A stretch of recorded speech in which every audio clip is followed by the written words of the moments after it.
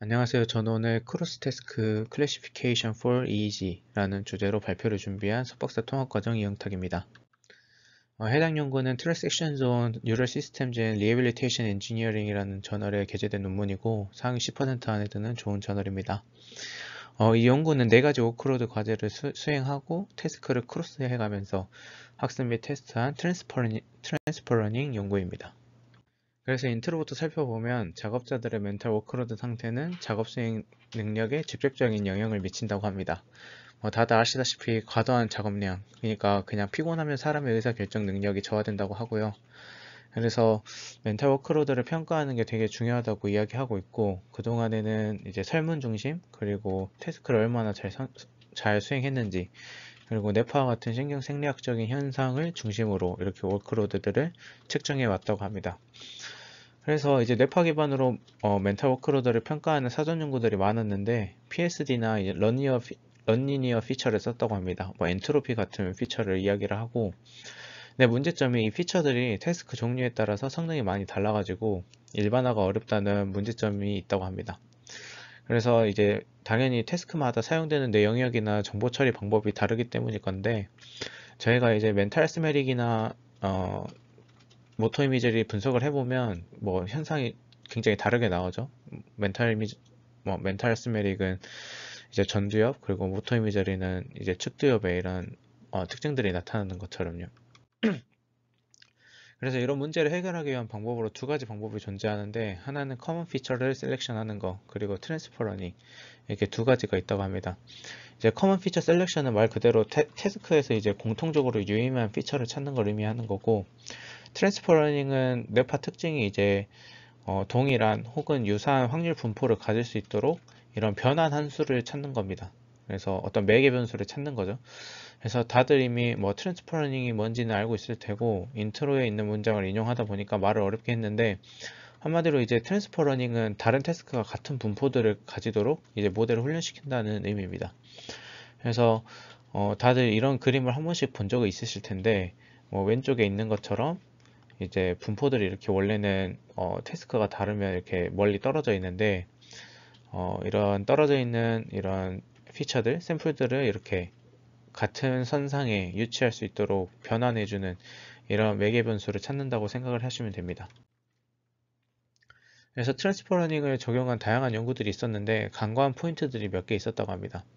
그래서 가장 중요한 건 대부분의 연구들이 피처를 뽑으면 뭐 템포럴에 대해서만 뽑거나 스펙트럴에 대해서만 뽑는 그런 싱글 디멘전에서 진행했다는 점인데 이제 뇌에서 정보 처리하는 건 이제 당연히 시간적인 것도 있고 주파수적인 것도 있고 그리고 다양한 채널들을 사용하기 때문에 채널에 대한 요인 등 이렇게 다, 다양한 요인들이 이제 실제로 영향을 미치고 사용이 되다 보니까 이렇게 뭐 한 가지 디멘션에 대해서만 어 분석을 하면 정보 손실이 어 낮다고 합니다. 그래서 이런 정보 손실이 안 나려면 모두를 한꺼번에 고려해야 되는 그런 input tensor를 만들고 그거에 맞는 어, 모델이 필요하다라고 이야기를 하고 있습니다. 그래서 이 연구에서는 다양한 이런 요소들을 모두 고려할 수 있는 이런 tensor 추출 방법이랑 transfer learning 방법을 제안한다고 합니다. 어, 먼저 이 연구는 총 4가지 태스크에 대해서 3가지 difficulty, 그러니까 난이도를 가지고 실험을 진행을 했고요. 어, N-back이라는 하나의 태스크에 네 가지 자극이라고 말하는 게 더 어, 맞을 것 같긴 한데, 같은데 난이도는 이제 n 숫자에 맞춰서 진행했습니다. 그래서 제일 쉬운, 쉬운 건 one-back 그리고 제일 어려운 건 three-back입니다. 어, 과제는 여기 있는 것처럼 뭐 verbal 그리고 object space verbal space object 이렇게 있는데 verbal 같은 경우에는 여기 있는 것처럼 그냥 영어 단어 아니 영어 스펠링이 나오는 거고 object는 이런 바나나처럼 어, 물체가 나오는 걸 의미합니다. space 같은 경우에는 이런 지금 뭐 글씨 위치가 지금 다 다르죠. 그래서 이런 위치를 신경 쓰는 그런 태스크입니다. 그래서 저도 뭐 읽다가 이 부분이 좀 헷갈렸는데 사전 연구들을 보니까 이제 이런 space 같은 경우에는 문, 문, 문자나 물, 물체는 바뀌지 않고 위치만 바뀌는 것 같습니다. 예를 들면 뭐 B로 고정을 하면은 뭐 B의 위치만 바뀐다거나 이렇게 되는 것 같아요. 제가 이렇게 예시로는 D랑 A랑 있는데 어, 이 연구 이 논문에선 자세히 안 나왔는데 이걸 이제 이 실험을 한 연구팀에서 낸 논문을 보니까 그냥 위치만 바뀌는 걸로 확인이 됩니다. 그래서 사실 뭐 이런 위치까지 같이 고려를 하면 당연히 난이도가 뭐 3단계가 아니라 훨씬 많은 난이도가 있었어야겠죠. 뭐 투백인데 위치까지 고려해야 된다면 엄청 어려웠을 테니까요. 그래서 어, 실험은 이렇게 진행을 했고 어, 총 60개의 채널에서 EEG 측정하고 뭐 1에서 20Hz로 밴드 패스 하고 IC를 어, 이용을 해서 노이즈도 제거했다고 합니다. 아마 사용된 주파수가 지금 1에서 20Hz인데 어, 집중력이랑 관련되어 있다고 알려진 뭐 세타나 알파를 고려하기 위함인 것 같고 이제 뭐 세타나 알파 이외에 뭐 델타나 베타 값의 대역이 조금씩 있는데 이거는 이제 그냥 넓게 잡은 게 아닌가 생각되고 어 참고로 이제 뭐 타입도 4개고 뭐 difficulty가 3개 이렇게 했는데 이 연구에서는 그냥 난이도 이3 difficulty를 분류하는 어, 3클래스의 문제라고 생각을 하시면 됩니다. 이 workload는 난이도에 비례할 테니까요. 어, 그래서 이 연구에서 제안하는 플로우 차트를 보면 EEG 데이터에 time frequency 분석을 적용해서 ERSP map을, ERSP map을 추출하고 이런 3차원의 데이터를 얻습니다. 이제 뭐 채널 그리고 시간 주파수 이렇게 어, input tensor가 나오겠죠. 그래서 이 3D 어, input tensor에 대해서 transfer learning을 진행을 합니다.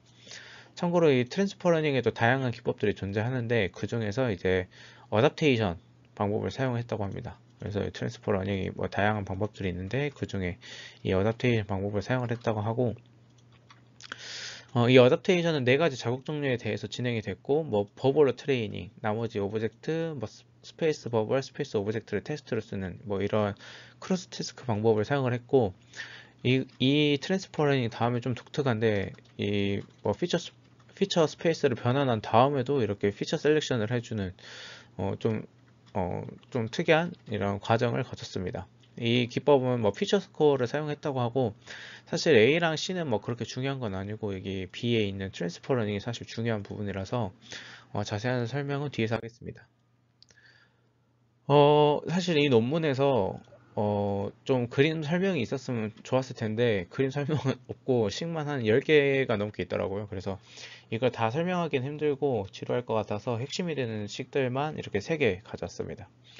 그래서 transfer learning 어, 에 사용되는 이런 식들이 있는데 이 중에서 또 어, 확인을 해야 될 게 이제 세타랑 뮤를 이제 어, 뒤에 결과에서도 보여주겠 보여드리겠지만 optimization 하는 과정에서 사용된 그런 어, 파라미터들이고 일단 식을 먼저 살펴보면 transfer learning에서 transfer learning의 adaptation에서 고려해야 될 중요한 factor는 두 가지입니다. 여기 있는 것처럼 어, 당연히 뭐 분류도 잘해야 되고 새로운 데이터를 새로운 space에 잘 projection 시켜야 되는 어, 문제인데 그래서 이제 어, 그 부분들이 여기에 있는 1번식에 있는 L 디스트리뷰션이랑 L 디스크리미네이션입니다. 뭐 세타는 이 둘의 가중치를 의미를 하고요. 어, 둘 중에 어느 것이 더 중요하다고 볼 것인가 라는 의미를 가집니다. 그래서 2번 식을 보면 이렇게 어, L distribution 어, 먼저 구하는 방법이 있는데 이건 이제 분포만 고려하는 어, 그런 식입니다. 그래서 L은 loss라고 생각을 해주면 되고 그래서 이 어, distribution에 대한 loss를 최대한 줄이는 게 목표고 이 식이 굉장히 지금 막 복잡해 보이는데 의미 자체는 되게 쉽습니다. 일단 이 여기서 보여드리는 모든 식의 목표는 최적의 P와 U를 찾아내는 겁니다. 뭐 P를 구하면 U는 자연 스럽게 따라오는 거라서 뭐 따지고 보면 최적의 변환 함수라고 불리는 P를 찾아내는, 찾아내는 게 목표라고 할 수 있습니다. 그래서 이렇게 P랑 U가 있는데 어, P는 이제 projection matrix 변환 함수고요. U는 이제 새로운 projection 된 새로운 space를 말을 하는 겁니다. 뭐 subspace라고 표현을 하고 어, NS와 NT는 어, num, 샘플의 num, 개수인데요. S는 소스 그리고 T는 타겟입니다. 여기서 혹시나 이제 소스랑 타겟을 이제 어, 모르시, 모르시는 분들이 있으니까 이 소스는 이제 모델을 사전 학습할 때 사용되는 데이터를 의미를 하고 타겟은 데이터에 사용되는 데, 테스트랑 이제 fine tuning 할 때 사용되는 데이터들입니다. 그래서 어, 아까 처음 intro에서 보여드렸던 것처럼 이 소스랑 어, 타겟은 이제 분포가 완전히 다르겠죠. 여기 연구에서 빗대면 이제 소스는 어, verbal 에 대한 데이터들이고 이제 타겟은 뭐 space나 뭐 object 이런 어, 다른 task들이 될 거고 그래서 이 두 데이터가 같은 space에서 존재하기 위해서는 이 두 데이터 중 하나에는 변환 함수가 꼭 들어가야 됩니다. 그래서 여기 나와 있는 것처럼 이제 소스 데이터에 어, 변환 함수 p를 넣어서 이제 이 p라는 변환 함수를 사용을 해서 u라는 새로운 매트릭스에 이제 어, 프로젝션을 하는 거죠. 그래서 어, 이 어, 공식에서는 보면은 p랑 이 소스의 이런 분포랑 근데 p를 더 곱해서 이제 u라는 새로운 스페이스에 들어가는 이 분포랑 타겟의 분포가 이제 최소화가 되는 이거 이제 이거 norm을 의미를 하는 거죠. 그래서 이걸 이 둘의 차이를 최소한으로 줄이는 방향으로 어, 모델이 학습을 하게 되고 그래서 결국 P를 잘 구하면 이 U라는 space 안에서 얼마나 이 분포들이 같, 같은지 비슷한지를 확인을 할 수가 있습니다. 어, 마찬가지로 이제 어, 뒤쪽에는 클래스에 대한 게 들어있는데 뭐 앞에는 클래스 상관없이 모든 데이터에 대해서고 당연히 이제 클래스 간의 차이도 있어서 분류를 더 잘해야 되니까 이런 클래스끼리만 해서도 이제 loss가 잘 나오도록 이렇게 두 가지 loss를 어, 함께 충족하는 이런 L 디스트리뷰션을 구해야 되는 거고 여기서 이제 뮤가 들어가는데 이제 둘 중에 뭐 클래 분포 자체가 중요하냐 아니면 클래스를 고려하는 게 더 중요하냐 이런 걸 보려고 뮤라는 가중치를 준 거고요. 어, 뒤에 뭐 결과에서 최적의 뮤가 무엇인지라는 어, 그런 결과들이 있습니다. 어, 식 3번 같은 경우에는 L discrimination인데 이거는 이제 이 식에서 찾고 싶은 건 분류가 잘 되도록 하는 최적의 제타를 구하는 겁니다. 이 제타를 의미를 하고 왜 제타만 구하냐라고 생각을 할 수 있는데 여기 보면 L between 어, 같은 경우에는 클래스 간의 차이 그리고 within은 클래스 내에서 차이를 의미를 하거든요. 근데 보면은 이제 여기에서 뭐 MS랑 MT가 새로 나왔는데 이거는 전체 그 데이터의 평균 값을 의미를 하고요. 이게 새로 나온 GS랑 GT 같은 경우에는 이제 프로젝션 된 데이터의 피처의 분포를 의미를 합니다. 여기 당연히 GS랑 GT에는 여기 있는 P랑 U가 당연히 포함이 되어 있겠죠? 결, 결국에는 최적의 P를 찾는 문제를 풀게 되는 거고 그래서 어, 여기 비트윈을 보면은 MS랑 MT밖에 없죠. 그러면 여기는 P랑 U가 전혀 관여를 하지 않습니다. 그래서 여기는 거의 상수나 마찬가지예요. 여기서는 최적화가 불가능하고 여기 within에서 최적화를 하기 때문에 이런 제타라는 어, 파라미터를 이제 어, 사용을 하게 됩니다. 그래서 결국에는 이제 어, 클래스 안에서 샘플들이 최대 최대로 이제 모이도록 하는 P를 찾아내야 되는 그러니까 옆에 있는 분포에 대한 P도 잘 찾아야 되고 여기 discrimination에 대한 어, 분포도 잘 찾아야 되는 그런 최적의 P를 이제 구하는 작업이 이제 transfer learning 과정이고요. 어, 사실 이 3번식은 transfer learning을 떠나가지고 여기 뭐 GS랑 GT가 뭐 다른 이제 일반적인 뭐 MS나 MT로 바뀌게 되면 이제 모든 분류의 기초가 되는 부분이라서 다들 한 번씩 뭐 일반화된 식을 뭐 찾아봐도 좋고 공부를 해봤으면 뭐 좋을 것 같습니다. 설명이 너무 길었는데 결과는 이제 되게 단순합니다. 어, 먼저 분류 결과인데 transfer learning을 한 경우에는 task끼리 이제 같은 task로 테스트 트레이닝하고 테스트하면 뭐 거의 90% 91% 평균 91% 정도 잘 나오고 핵심 결과인 이제 transfer learning을 하면 이제 task를 이제 교차한 경우를 말하는 거죠. 그래서 평균이 한 81% 정도 나왔다고 합니다. 그러면 이게 뭐 기존의 연구들이랑 비교했을 때 뭐 더 좋냐라고 생각을 할, 어, 궁금할 수도 있는데 오른쪽에 나와 있는 그림처럼 기존에 이제 이런 workload를 어, 분류할 때 사용했던 PSD나 이 sample ent, sample entropy, nonlinear feature죠. 이걸 사용을 했을 때 성능이 이제 얼마나 떨어지는지를 보여주는 건데 within task는 뭐 당연히 뭐 그냥 이렇게 같은 task를 트레이닝 테스트 하는 거니까 좀 높았는데 이게 cross task로 넘어가면 한 20%씩 25%씩 이렇게 떨어지는 것을 확인할 수 있는데 이제 transfer learning을 사용하는 경우에는 한 10% 정도밖에 떨어지지 않는다 라고 이야기를 하고 있습니다.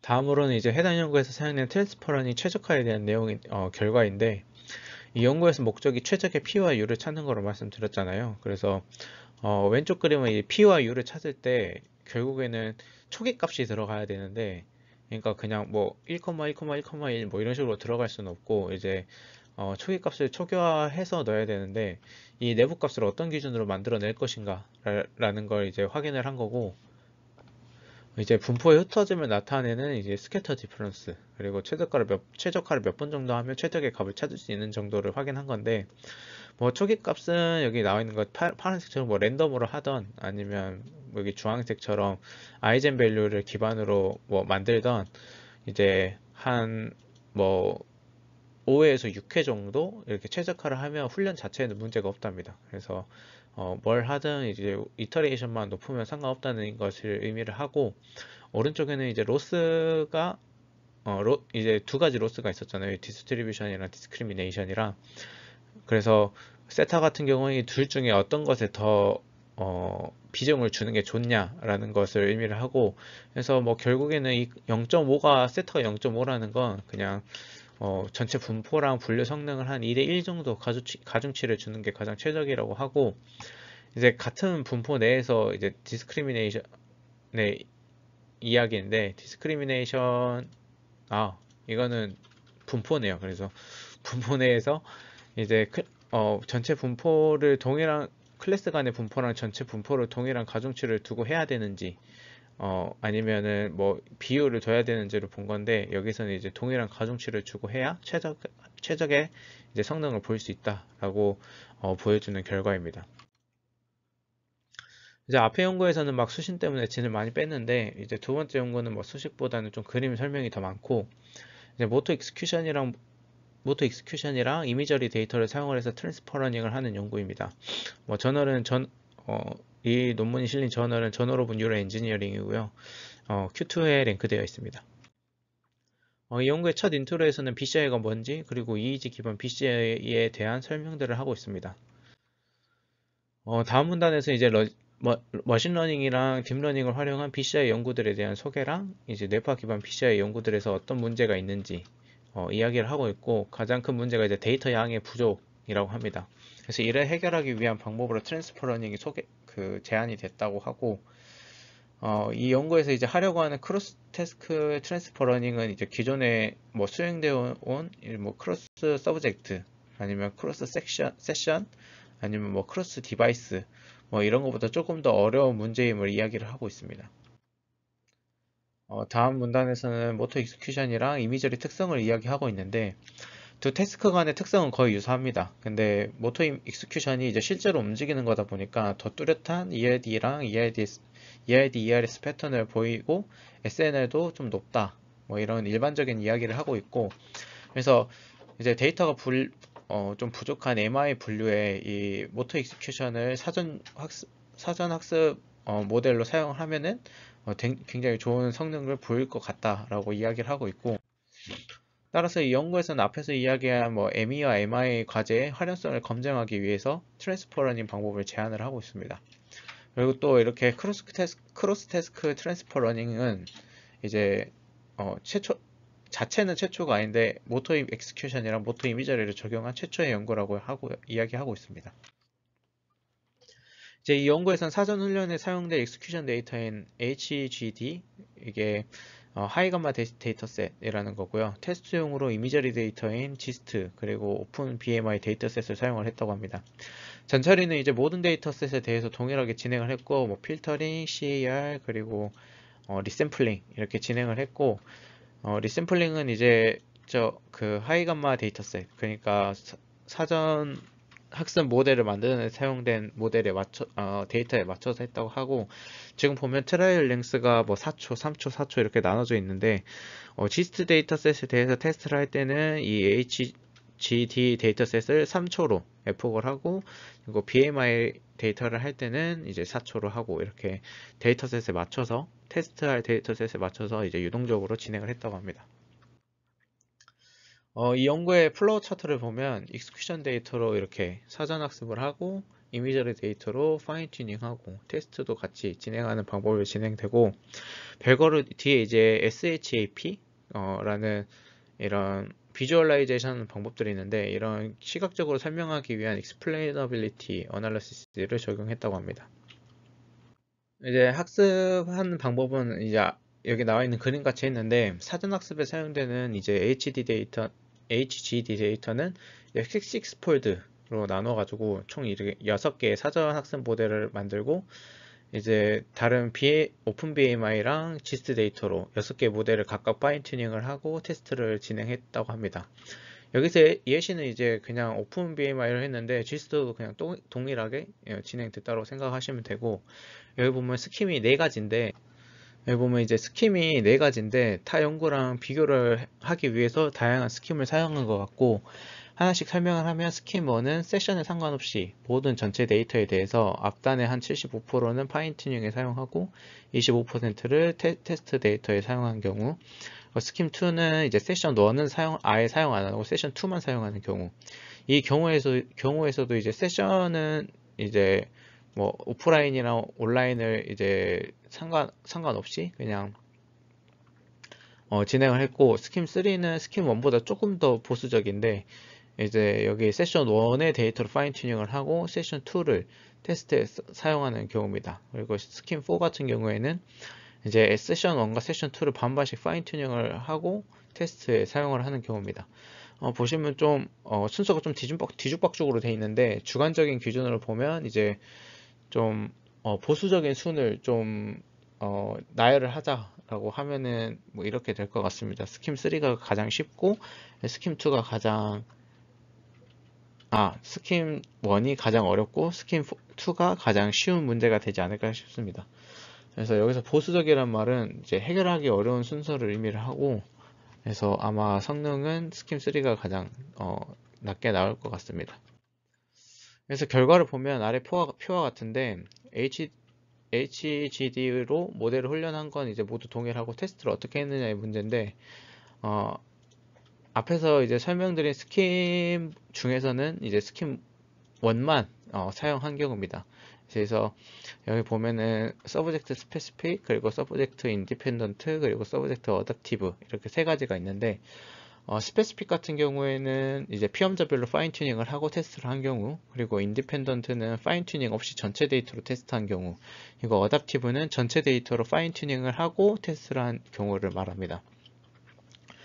어, 이제 당연히 어, specific이 가장 높을, 높은 성능을 보일 것 같은데 어, 보면은 이제 adaptive 성능이 제일 좋습니다. 그래서 어, 어떻게 이렇게 뭐 개인별로 하는 게 가장 원래는 좋은 걸로 알고 있는데 adaptive를 했을 때 더 높을까라는 의문을 가질 수 있는데 이게 아마 데이터 개수가 이제 많아지면서 딥러닝의 성능이 올라가는 게 아닌가? 뭐 그런 생각을 하고 있고 저자들도 그렇게 이야기를 하고 있습니다. 애초에 이제 transfer learning 자체가 어, 목적이 이제 데이터 부족을, 부족을 해결하려고 하는 부분이 크니까요. 그래서 데이터 개수가 많아지면서 딥러닝의 좀 성능이 올라간 것 같고 어, 이제 transfer learning을 사용을 하면 다른 뭐 기법들에 대해서 당연히 통계적으로 유의미하게 성능이 좋았음을 확인했다고 합니다. 이제 타 연구들과의 비교에서도 뭐 당연히 제안하는 연구가 가장 좋았다고 하고 이, 이 결과에선 사실 뭐 논문들을 인용하는 거다 보니까 통계 분석은 따로 안 한 것 같습니다. 그래서 여기 보면은 scheme이 1, 2, 3, 4가 있는데 보시면 아까 어, 사전 연구들이랑 비교를 하기 위해서 이렇게 scheme을 나눴다고 말씀드렸잖아요. 그래서 이렇게 어, 사전 연구들이랑 비교를 했을 때 이제 adaptive adaptation을 transfer learning 하는 게 가장 성능이 좋았다 라고 이야기하고 있습니다. 다음은 이제 visualization 부분인데 뭐 딥러닝 모델 최종단의 feature들 그러니까 fully connected layer의 feature들을 추출을 했고 당연히 이제 뭐 subject adaptive가 가장 성능도 좋았고 한눈에 보기에도 뭐 피처가 되게 어 분포가 잘 이렇게 나눠지는 것을 확인할 수 있었다고 합니다. 어 다음은 이제 SHAP 결과인데 이걸 어, SHAP이라고 읽어야 될지 잘 모르겠는데 이게 이제 LRP처럼 input 데이터에서 의미 있는 인덱스 그 어떤 셀들을 찾을 수 있는 방법이고요. 그래서 이 어, SHAP이라고 하겠습니다. 그래서 SHAP value가 양수인 경우에는 이제 특징 값이 클수록 h 값이 커지는 데 기여했다는 의미고 음수인 경우에는 특징 값이 클수록 h 값이 작아지는 방향으로 기여했다. 이렇게 뭐, 뭐 사전적으로 정의가 돼 있는데 한마디로 양수면 분류에 도움이 되는 거고 음수는 이제 분류에 도움이 안 된다는 의미입니다. 그래서 저희가 기존에 알고 있는 것처럼 태스크를 수행하는 어 이제 반대편 방구에서 이제 액티베이션이 있고 그게 유의미했음을 알 수 있습니다. 그래서 오른쪽 핸들 이미저리를 하면 이제 왼쪽 방구에서 나타나고 왼쪽 hand imagery를 하면 오른쪽 반구에서 나타나고 그래서 따로 뭐 이런 뭐 영역에 대한 건 조사를 했는데 주파수 성분에 대한 조사 안 했습니다. 뭐 생각을 해보면 이미 그 bandpass 구간을 이제 8에서 30Hz를 사용했는데 이 안에 이제 뮤페, 뮤파랑 움직임이랑 관련이 있던 뮤파랑 베타파가 이미 다 속해 있기 때문에 아마 그냥 어, 이 대역 자체가 의미 있다라고 생각을 하고 이렇게 진행을 한 것 같습니다.